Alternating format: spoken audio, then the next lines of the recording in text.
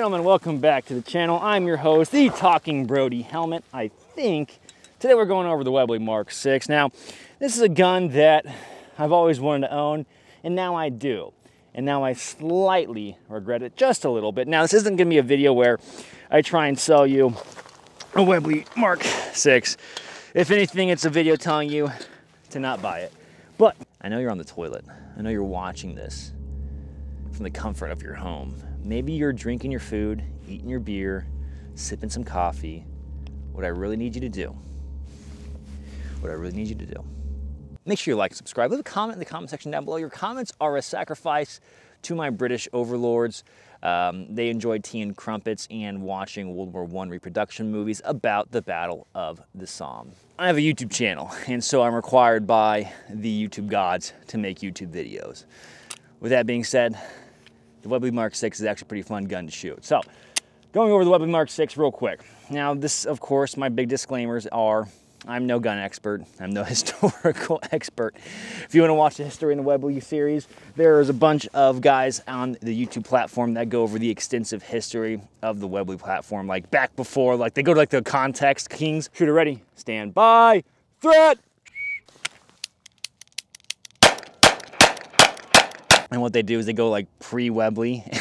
so, and so they go like the history of the Webley up to like certain points. It's very fascinating, but I literally just walked into a gun store. I saw it and I was like, neat. But I always wanted a Webley, so it worked out great. You know, the break action, the top break action of revolver series, they always get me going, if I'm being honest. I'm not a big revolver guy, but the fact that this breaks open from the top, it it hits different, if I'm being honest with you guys. And you know, revolvers are just like, they're like fidget spinners for men because there's a lot going on with them. There's a hammer movement, there's the wheel movement, or I should say the cylinder movement, and then you got the break action over here. Now, normal revolvers, modern day revolvers, more conventional stuff, break to the side, which is probably more reliable instead of your entire gun going hinging. It's just the cylinder that hinges out, but it's not as cool as the break from the top. This gun wasn't too expensive. It was relatively cheap. Uh, it was about, I want to say 500-ish. And I think there were some repro parts on it that looked clear, clear as day, like reproduction parts, such as the hammer and the brake and then the trigger. I couldn't tell you too much. I bought a, a quasi holster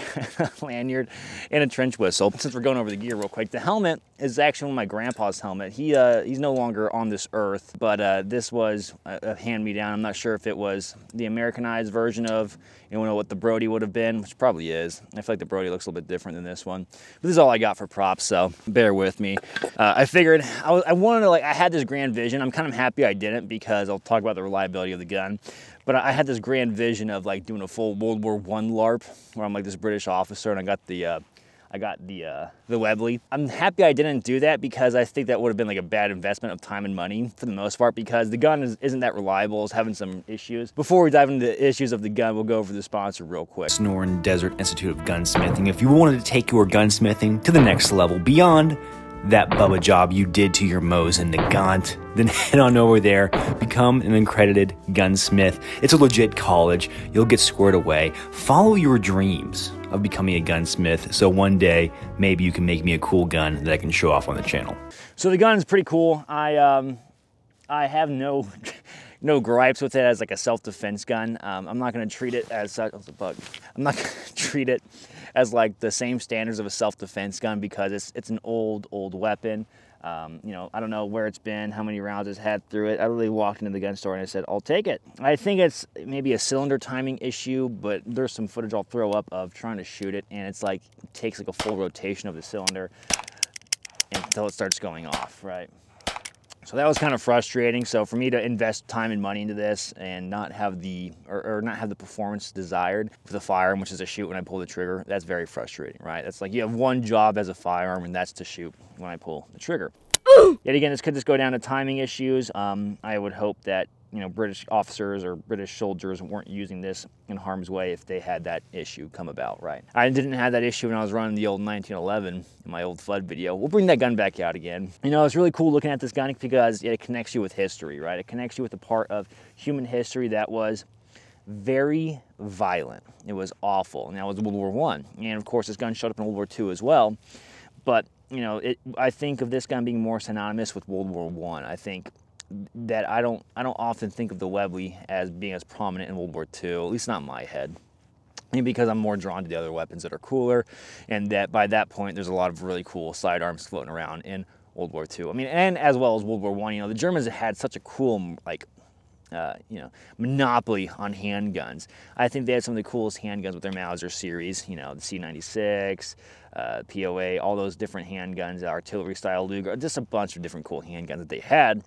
And they, and they were going really far with those handguns, you know, as far as making them technically like short barreled rifles, like little carbines with how they had those set up. So that made it kind of cool in that regards because you got to think like your average soldier, your average soldier is running like a, a hunting rifle bolt gun that's configured for battle. That's essentially what they have. You have a 303 round or a 30-06 round or 8 millimeter Mauser round. It's like wild, you know. It's like to think about. I still can't get over that. That they like were like, yeah, this would be perfect when nobody has armor on. We're using a huge hunting caliber round, but whatever. At least the gun is cool for that sense. It's a really cool like collector's piece, at least to me. I wish it were performing a little bit better. So if you're someone out there watching this and you're like, oh, I know what the issue is with that Webley, um, it's the, the timing of the cylinders may be off. So the ammo I was running was some Fiocchi uh, 455, and maybe that was it. Maybe the ammo on that was weird, but it was running some rounds, but once it got going, it would work. So I don't know what that's about. You know, it's not like I'm trying to yet again sell you a, a Webley Mark 6. That's just not what the goal is of this channel. This I, I like to show off firearms that I find interesting.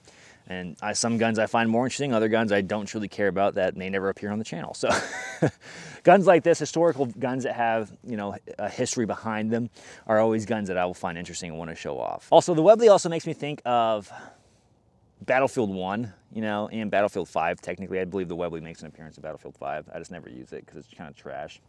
I miss Battlefield 1. I played a lot of Battlefield 1, if I'm being honest with you guys. There was a good amount I played there's like a series in my life of just like non-stop Battlefield 1, and I got very good at Battlefield 1, I will say. The new Battlefield's not as good. I, I'm sorry, I'm going off on a tangent. Good. You know, I feel almost blessed with the modern convenience and luxury of firearms that we have now, where it's like I have a red dot, a flashlight, and 17 rounds in a Glock 19 or a Glock 17, or, you know, 15 rounds in a Glock 43X. And depending on what handgun you prefer, you, you can maybe have more or less, but, you know, me personally, I'm a Glock guy, and it's it's weird to think about going back in time, you know, and, and, these guys are fighting major conflicts, or maybe they carry a Webley as a personal carry gun back in the day, and that's like their interpersonal uh, self-protection gun against a criminal on the street, and they only know that they have six rounds, and that that gun has to work flawlessly in a life or death situation. Okay. And it's kind of crazy, and I do feel blessed in that regards. That it's like, yeah, I trust my modern guns a lot, but there is that thing of is the craftsmanship of modern guns as good as these old guns because like it's just nothing but steel. And you can kind of see how it's wearing away a little bit a little bit of that patina. The patina looks pretty solid on it. You know she is dated. It's got a lot of the uh, the, the royal crown stamps. I'm probably saying that wrong the nomenclature wrong. But it is really cool firearm. And you know yet again i do like the historical weapons because there is a different level of craftsmanship to it. It's interesting to see like the carbon buildup on these wings right here in front of the cylinder. That is a little fun to see that the land, also lanyards. Lanyards are kind of weird, dude. I, I can't imagine. Like I know some guys still use lanyards today in a professional setting, and I know they've probably mastered them a little bit more. But like this old lanyard, I, I felt like it got in the way a lot more than it was helping. I'm like, just hold on to your gun. You know what I mean?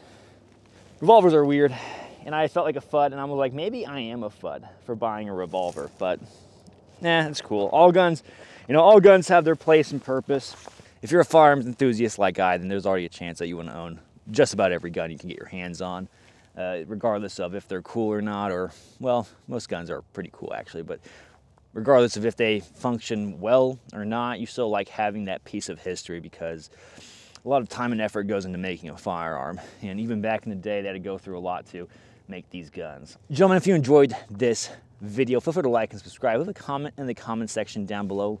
Your comments are a sacrifice to the algorithm god, a god of which may or may not let me monetize videos. Who knows? If you want to support the channel in any way, shape, or form, Patreon is an excellent way to support the channel as well as merchandise. I sell merchandise on the website. All of the companies that usually sponsor this help support the channel. So if you wanted to take your business to them, your business supports them, which supports me. It's a nice little trickle down effect. I truly don't know how economics work. As always, gentlemen, stay easy, stay breezy. I'll catch you all on the flip.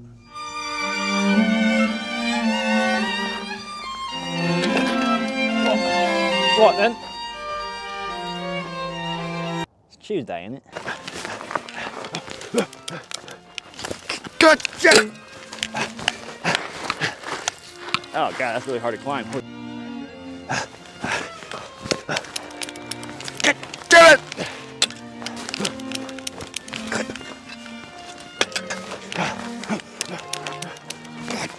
damn it! God damn it! Damn it, son of a bitch motherfucker! God damn it!